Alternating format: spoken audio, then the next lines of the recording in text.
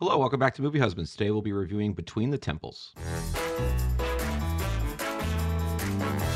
A cantor in a crisis of faith finds his world turned upside down when his grade school music teacher re enters his life as his new adult bat mitzvah student. The film is directed by Nathan Silver and stars Carol Kane, Jason Schwartzman, Dolly De Leon, and many, many more. So, Matt, what do you think of Between the Temples? All right, so as you just mentioned, this film stars Jason Schwartzman and Carol Kane. And Schwartzman has had a long working relationship with Wes Anderson, if you didn't know, and most recently played the lead in Asteroid City. And as for Carol Kane, someone who has had a very long career in television and film, I personally remember her most recently from Unbreakable Kimmy Schmidt, where she played one of my favorite characters, Lillian, in that show. I do mention these two specific performances, like Asteroid City and Unbreakable Kimmy Schmidt, for a particular reason, which I'll get into. But in this film, we have them playing the characters of Ben and Carla, respectively. And as you mentioned a little bit, they strike this unusual friendship when Carla asks Ben to help her embrace her Jewish identity and study to have her own bat mitzvah, even though she is a bit older in age at this point. Ben, on the other hand, is very clearly depressed from the loss of his wife. At one point in the film, in, in the beginning, this gives you a sense of his character in this particular point, but he lies in the middle of the road, and when a truck comes, it stops because it sees him, and he just, it's really humorously done, but also kind of sad. He, you know, waves it to just, just keep going, just keep going. Big fan of that scene, by the Big way. Big fan. I knew you would be. and so Carla, on the other hand, she is much more outgoing and personal. We first find her at the bar where he ends up after this incident with the truck. But she she's loud, she's outgoing, she she's easy to make friends, and she quickly converses with him. And that's when they find out about their connection in the past, and thus the film progresses from there. But you know, it's this dry, cynical humor that he has, which is very like his role in Asteroid City, I found, compared to her blunt and like loud humor, which is something that was very specific to her character in Kimmy Schmidt. I thought that these two different types of comedic personalities really lended itself well to each other and made this a really good dynamic duo in the film. Now, one of my immediate thoughts upon leaving the theater was wow, this film is a bit of a cluster I thought that the camera movement was weird at times with these very quick zooms you would see in an episode of The Office. The editing is choppy with jump cuts, creating this visual inconsistencies. Mm-hmm. The dialogue is very scattered at times, often with actors speaking on top of each other. And while these things might seem like negatives,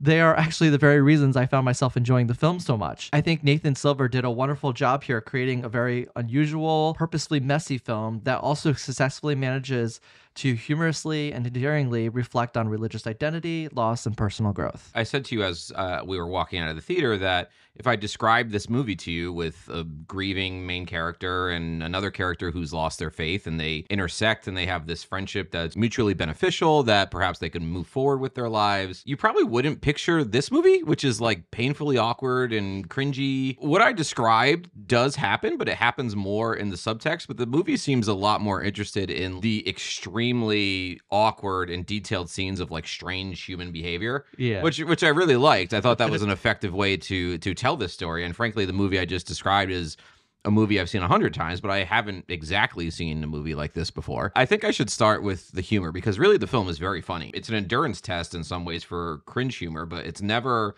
less than very funny, I think, all the way through. The humor is really in the details, like these strange or awkward situations. I'm reminded of the scene early on between the rabbi and Carla where their cars are face to face and they're both in their cars screaming at each other trying to have this conversation with ben and it's cut so oddly And when you say screaming at each other, it's not that they are actually screaming at each other in a, a screaming menacing from a car Yes. so that they can actually hear them they're having a regular conversation, but Yeah. just to elevate their voices. and that's a good point because and there's a later scene too in a restaurant where that has these like comically gigantic menus that breaks the tension of a really intense conversation that they're having. Anyway, that's just an example or two how the film inserts these little details to complicate a scene and really juggle this slapstick quality with the film's drama that I really liked. I completely agree. And on that note, I want to talk a little bit of the dialogue because I call that very messy, but at the same time, it's very purposefully done in this film. And it lends itself a lot to the humor, as you were talking about. In a normal film, if two people are in a busy room and they're the important actors in a scene and they're talking to each other, it's elevated for their voices, but the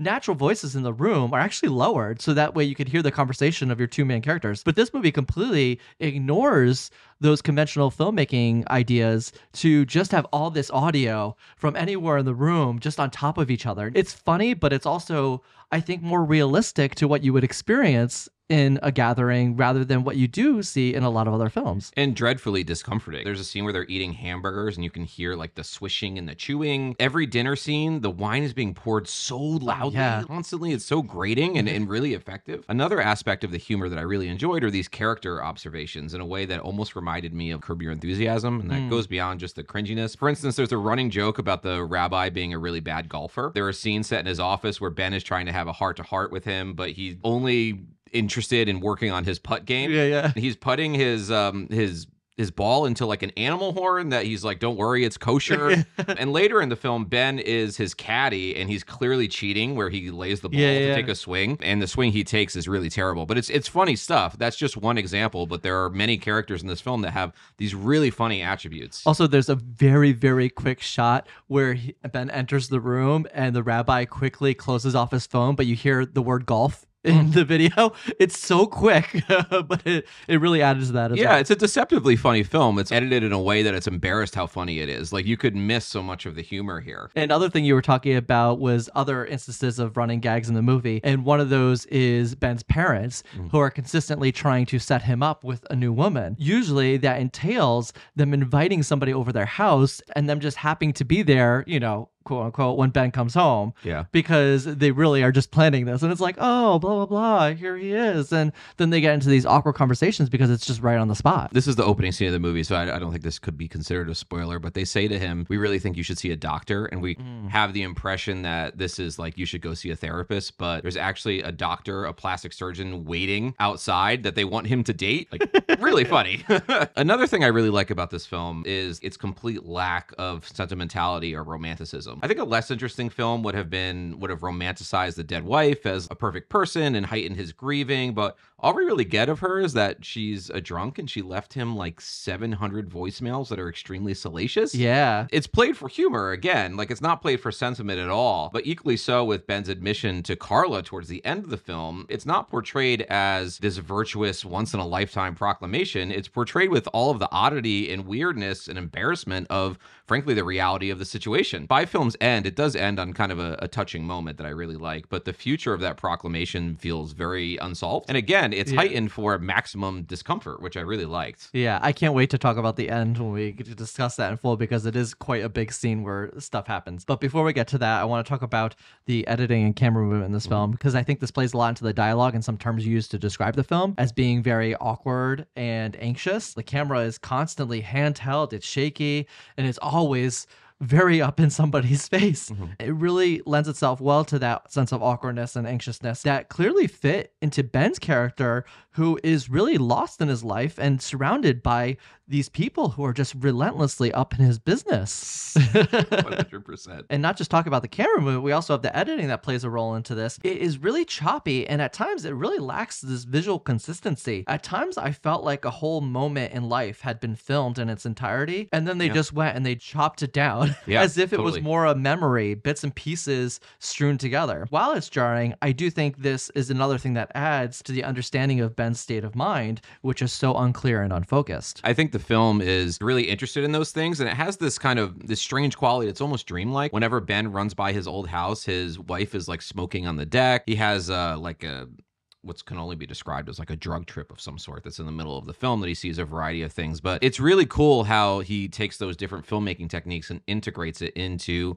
this film that has a variety of styles going on. I enjoyed too how the film portrays a particular Jewish community in New York, like as a subset of a, a greater population of Jews within the country. And just skimming a couple of reviews of Jewish critics that I follow, it seems to strike a chord in its accuracy. That's not for me to say because, you know, I, I'm not involved with this community, but I fully enjoyed being ingrained with these people in this community within the film. And though the film clearly states that the sense of humor in some of these practices, there's a clear, I think, reverence for it as well, certainly an appreciation and a love for it. The film has this modern approach to religion where traditions and rituals are respected and undergone, but also disregarded if they're completely nonsensical to modern societies. So at one point, they say they're not supposed to take pictures during dinner, and they say, oh, God will forgive us.